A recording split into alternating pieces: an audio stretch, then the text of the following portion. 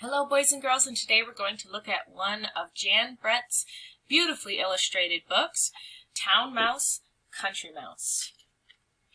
Make sure while we are reading, you pay attention to the side pictures that will give you clues as to what will happen next.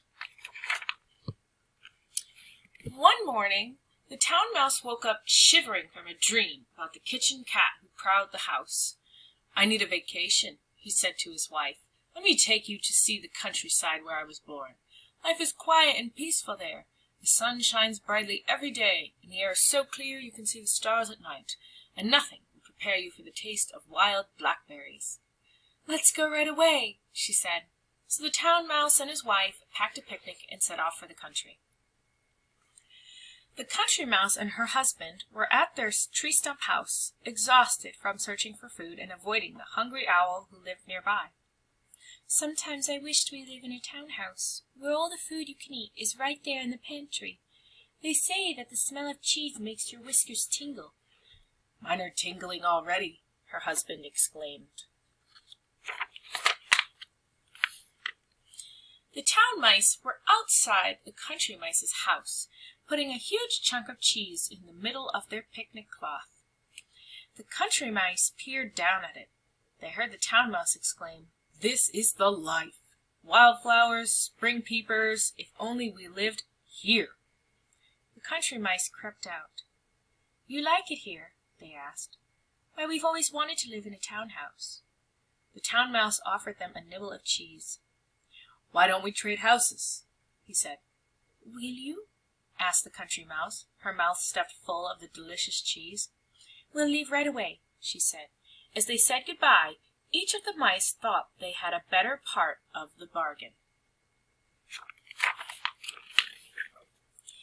It was dark when the country mice arrived in town and found the house.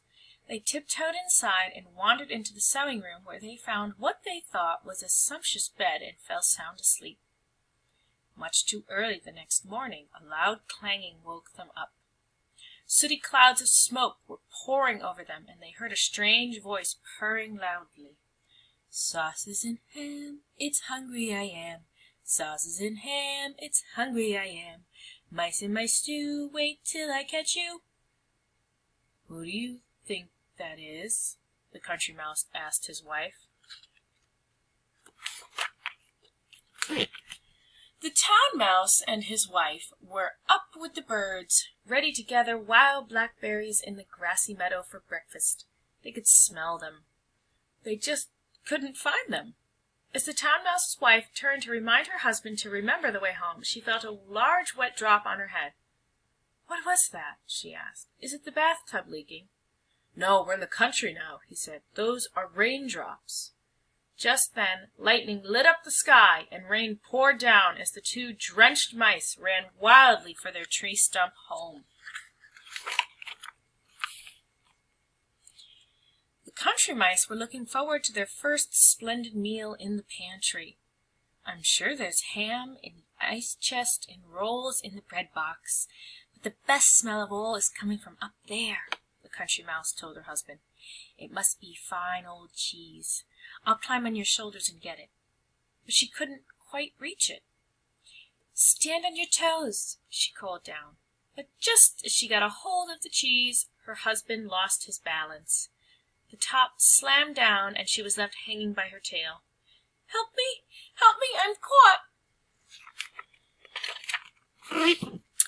Back in the country, the town mouse had put on dry clothes. He was especially proud of his bright new jacket. So colorful and eye-catching, he said to his wife. Let's stroll in the forest. We'll come back loaded with acorns and hickory nuts. But their walk was soon interrupted. The town mouse's colorful coat was so eye-catching that it caught the eye of a curious blackbird, and if his wife hadn't held him by his foot, he would have been carried off.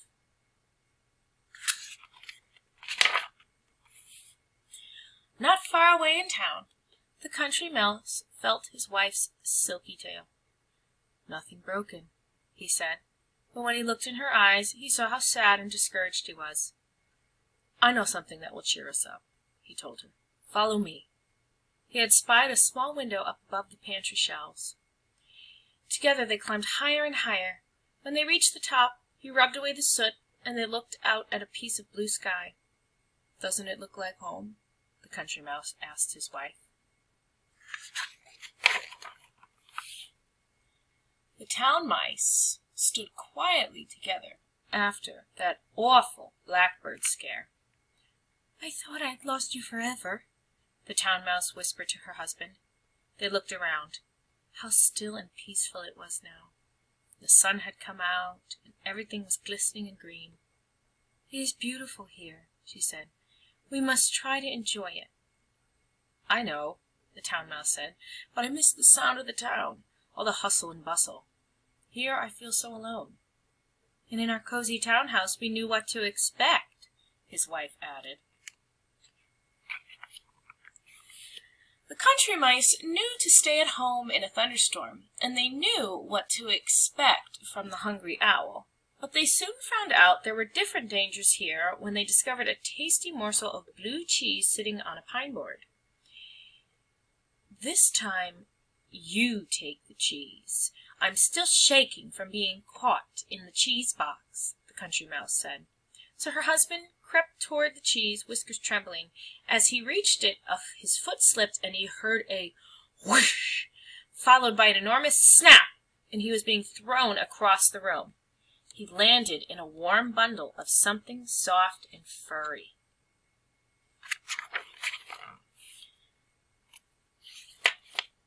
The Country Mouse was shaking from his close call. I can barely stand. He winced as his wife pulled him up and patted down his crumpled whiskers. It was then she noticed the bundle on which her husband had landed was tipping and turning. It was alive! Two green eyes snapped open. Run! she cried, getting a good look at it. It's an owl with teeth. The town mice knew how to avoid mouse traps set with cheese, but they soon found that the country had its own perils when they explored the river. Hand in hand. Suddenly the water began to boil and churn, and a huge wet head popped up and stared at them. It was a river otter. The mice tore back to their tree stump home, only to find a hedgehog rolled into a ball in front of the door. They then heard an animal crashing toward them through the underbrush. I can't take this any more, the town mouse quaked, and he reached for the nearest tree, his wife right behind him. From the tree, they could see the town lights blink on as the sun went down and the stars came out one by one. What shall we do? the town mouse asked his wife. But before she could answer, she saw a pair of glowering eyes right beside them and they were face to face with the most terrifying creature of all. A cat with wings! shrieked the town mouse. That's it for me! his wife cried, and they ran down the tree towards the town as fast as their legs could carry them. As the town mice headed frantically along the road, the country mice were fleeing in terror towards the country. Their paths crossed, but neither saw the other, they were so frightened.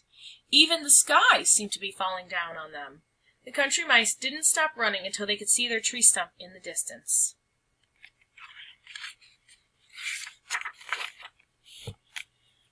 The town mice kept on running until they reached their townhouse. The musty smell of old wood, smoke from the kitchen, all seemed wonderful.